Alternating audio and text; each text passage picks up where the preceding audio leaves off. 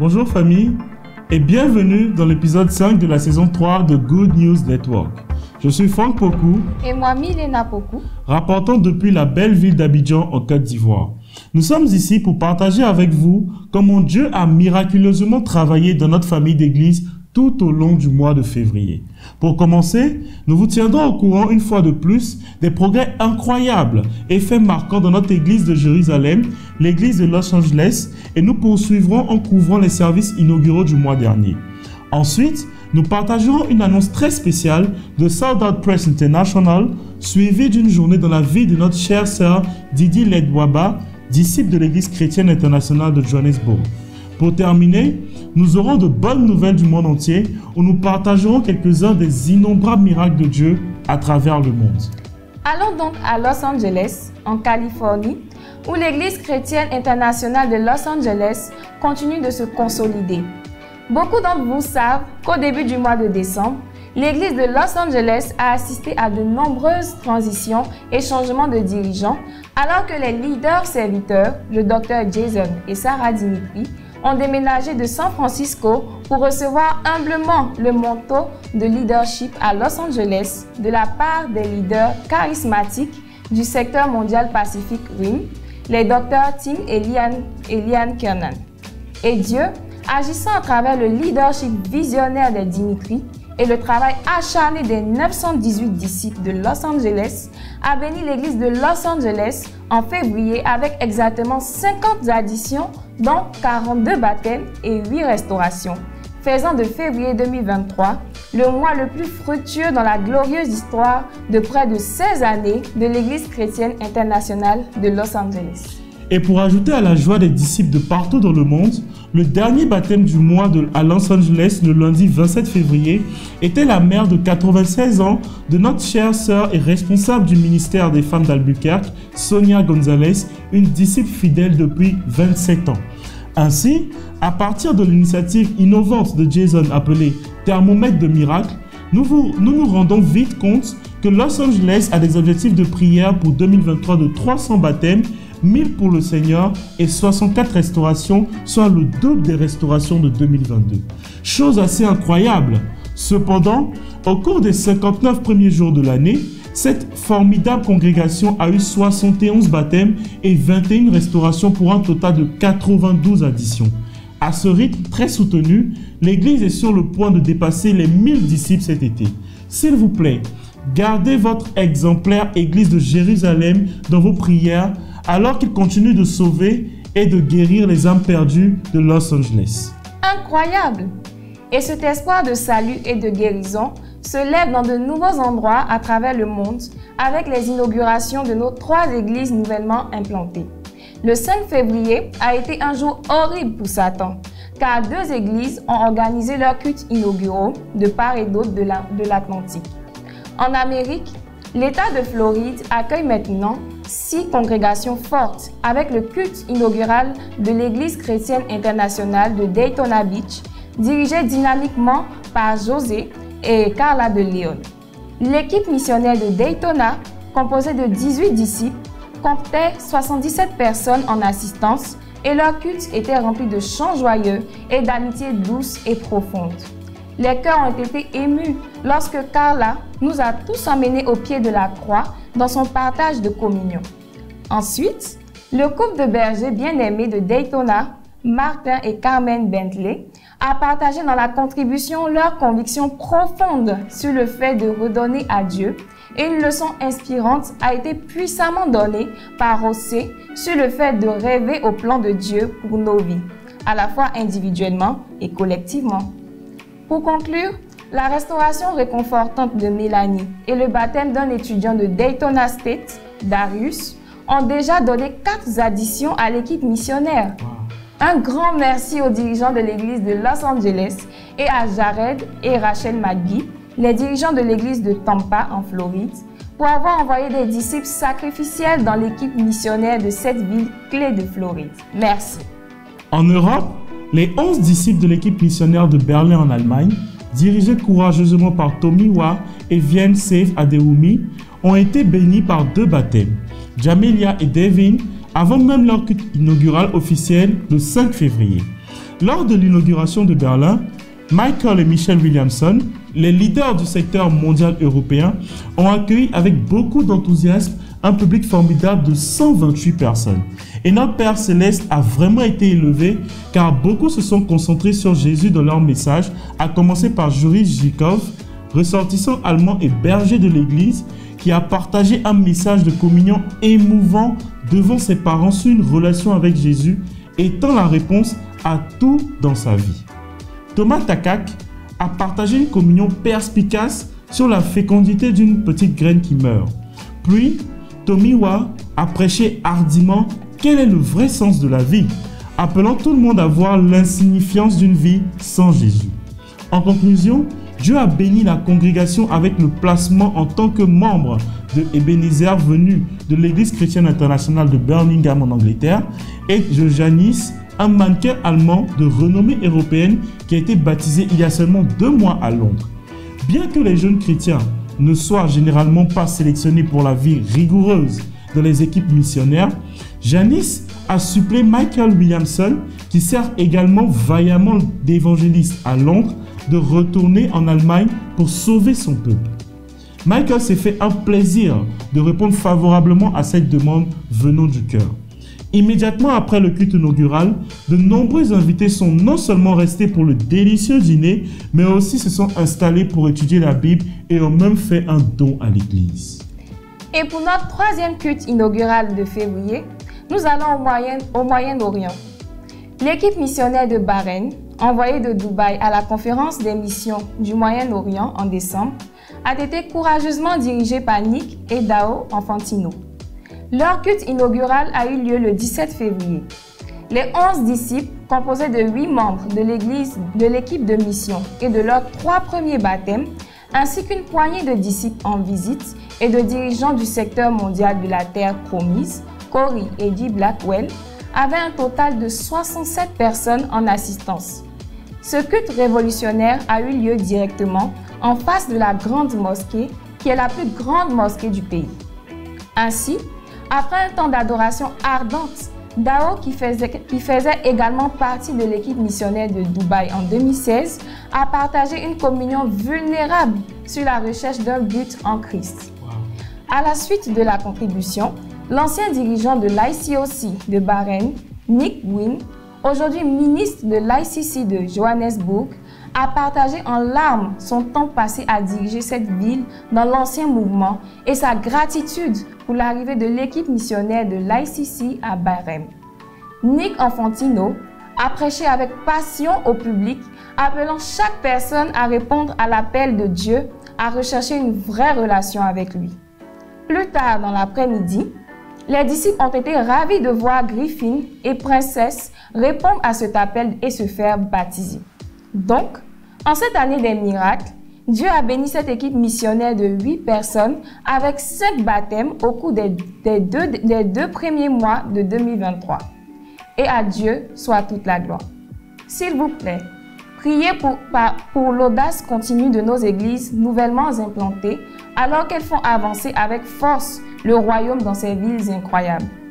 Et maintenant, pour une annonce spéciale de Sold Out Press International, suivie d'une journée dans la vie de notre sœur Didi, une sœur de la puissante église de Johannesburg.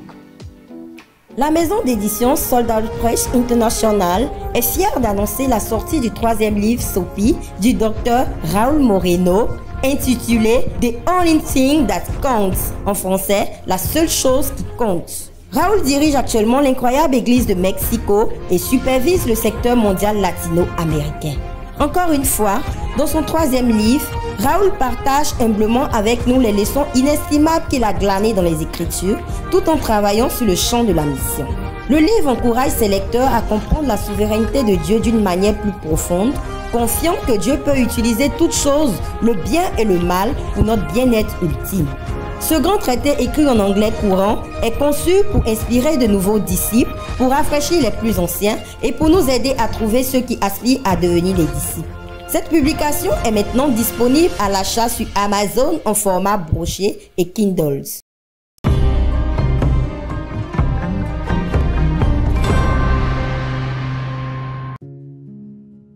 Prior to becoming a disciple, I used to feel feel alone a lot, and my friendships are not very deep. They were always on a shallow um, level. So I'm very grateful that I get to have those friendships and even have a worldwide family um, that keeps to God's word, God's standard, and even has a dream of evangelizing the world.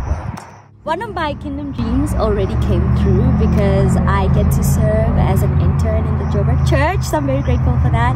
Um, and I'm praying now for one of my other goals and dreams is to one day serve in the full-time ministry as a women's ministry leader one day and to also help build the um, build an AMS uh, production company in Africa sometimes I have to be at work at like 6 a.m. or like 5 a.m.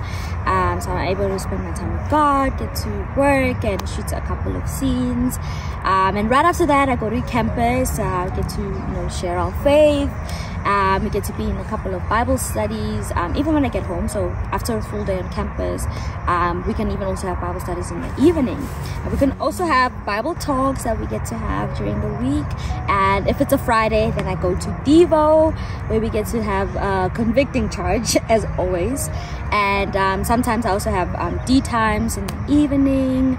And you know, we actually had a campaign on campus where we were sharing our faith consistently for the whole month of February, and we got to reach out to 750 souls on campus. So please pray for most of these people, actually all of them to study the Bible. Um, yeah, I'm just so very grateful. I've been fortunate enough to work with amazing actors um, throughout my career, like Chris Evans, Captain America, and different other actors. And since becoming a disciple, God has continued to give me those opportunities. I got to work on The Woman King with Viola Davis, and I got to reach out to Tisom Bedu, who is the co-star along, who's starring alongside Viola Davis on The Woman King, and even acting on Generations. And it's just been an incredible um, journey being on the South African soapy um, because I got to reach out to cast members on the show, including our now brother Ntanda Zobita. Um, so I'm very grateful I get to work with the disciple now. It's just amazing. but yeah, I think that's I think the highlight of uh, my career working with a disciple. I really had to learn how to be humble by seeking advice and that really helped me to get through my high um, not my high school my university career um, and just transitioning into the working world completely I think for myself working in the entertainment industry has been very humbling um, because it has taught me to grow and be more bold, to grow and be more courageous.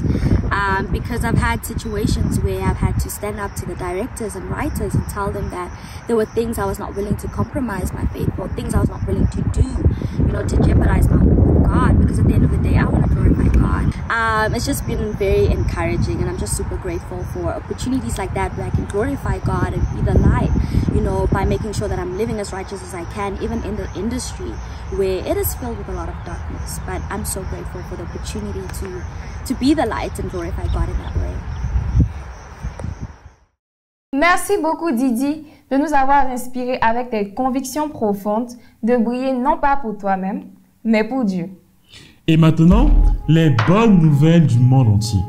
En commençant par le secteur mondial de l'Amérique latine, nous avons la conférence des missions sud-américaines intitulée Encore plus de choses. Cet événement historique a été organisé par Alfredo et Alejandra Anouche, l'évangéliste visionnaire de Santiago au Chili et la conseillère des femmes. Plus de 200 disciples du Mexique, du Pérou, de Colombie, de Bolivie, du Brésil, des États-Unis et du Chili se sont réunis à Santiago dans le magnifique hôtel Sheraton tous les dirigeants de l'Église sud-américaine étaient présents. Parmi les temps forts, citant des danses culturelles époustouflantes, un congrès de campus enflammé et une puissante matinée Mercy supervisée par Nick et Denise Bordury, les leaders mondiaux de Mercy Worldwide. Toutes les sœurs ont été ravies d'entendre leur grand-mère dans la foi, d'origine cubaine, le docteur Elena McKing, prêcher lors de la session des femmes sur les femmes qui rêvent de choses encore plus grandes. Et tous les disciples se sont réjouis ensemble des nominations dans le royaume de Freddy et Grace Borquez, évangélistes et conseillères des femmes, qui, à la fin de la conférence, sont devenus les nouveaux dirigeants de l'église de Santiago. Deux autres nominations très spéciales du royaume ont suivi reconnaissant Cristobal et Sylvana Riquelme, les dirigeants du campus de l'église missionnaire de Mendoza en Argentine d'être également évangélistes et conseillères des femmes dans le mouvement. Dimanche, Alfredo a fait un travail incroyable en prêchant le message d'ouverture des choses encore plus grandes. À la fin de la conférence des missions d'Amérique du Sud, les anges du ciel se sont réjouis des huit baptêmes miraculeux et une restauration. Un baptême très touchant a été celui de la sœur cadette d'Ariana Pacheco, Jane Rincon, qui vit au Chili à environ 300 km de Santiago.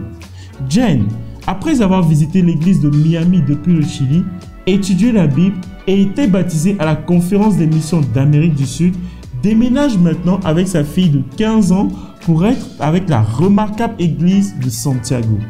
À la suite de ces précieuses additions, il y a eu l'envoi triomphal de l'église missionnaire de Mendoza dirigée par Alfredo et Alejandra.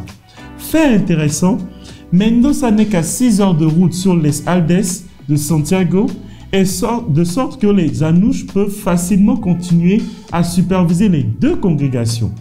Le grand pays de l'Argentine marque maintenant notre 59e nation pour le mouvement Sold Out Movement des disciples totalement engagés. Dans le secteur mondial Austral-Chine, dirigé par le docteur Joey et Kerry Willis, nous avons des nouvelles de consolidation de la foi d'Apia, Samoa. Anna, une disciple à Apia, a pris la décision il y a un an de devenir disciple de Jésus. Et une partie de sa transformation a été de pardonner à sa famille biologique de l'avoir mise en adoption quand elle était bébé. Depuis lors, elle a fait plusieurs efforts pour renouer avec eux et avec le temps, elle a eu la chance de retrouver son frère biologique, Christopher. Après l'avoir rencontré une fois, une, seule fois auparavant, Anna a amené Christopher à un culte de mi-semaine car lui-même cherchait Dieu. Il était tellement touché par l'amour du royaume qu'il a commencé à étudier avec empressement la Bible. Et donc, après deux semaines d'études, même face à la persécution, Christopher a été baptisé et est maintenant votre frère en Christ. C'est incroyable de voir ses frères et sœurs et se réunir physiquement et spirituellement par le pouvoir de la croix. Dans le secteur mondial de la Fédération du Nord, dans l'église de Tbilissi en Géorgie, Dima Serafanov a partagé sa foi avec Ashkan au tout début de l'année de l'équipe missionnaire vers la fin de 2022. Et Dima l'a invité à une discussion biblique. Ashkan, bien qu'il soit musulman, a été très encouragé à rencontrer tous les chrétiens de l'équipe missionnaire. Après l'étude de la croix, Ashkan a été si profondément touché par le sacrifice du Christ qu'il a voulu être baptisé dès que possible. Ainsi, les frères ont rapidement mais complètement fait l'étude d'église et de calcul des dépenses. Finalement, tard dans la soirée du 12 février, Ashkan a été baptisé disciple du Christ. Loué soit Dieu et félicitations à tous. Nous terminerons l'épisode d'aujourd'hui en mettant en lumière le rapport du docteur Blaise et Patricia Femba, le couple dirigeant du secteur géographique Afrique francophone, sur les efforts d'évangélisation remarquables des six églises implantées en Afrique francophone dans les pays de Côte d'Ivoire, du Burundi, du Maroc, du Cameroun, du Congo et de la République démocratique du Congo, mieux connue sous le nom de RDC. Dieu a apporté le salut aux multitudes, puisque 95 âmes ont été ajoutées à leur nombre au mois de janvier et 91 âmes, dont 90 baptêmes et une restauration dans le cours du mois de février. Waouh! Pour conclure sur ces deux mois formidables pour ces congrégations francophones au cours de la dernière semaine de février, l'Afrique francophone a eu un total de 28 baptêmes. Un nombre record de 16 d'entre eux a eu lieu dans l'église de Kinshasa lors de leur culte du dimanche dirigé par les adolescents. Et ce qui est encore plus incroyable, c'est que 12 de ces baptêmes étaient des adolescents, ce qui rend maintenant leur ministère des adolescents, dirigé puissamment par Andy et Sarah Nzao, à 91 disciples forts.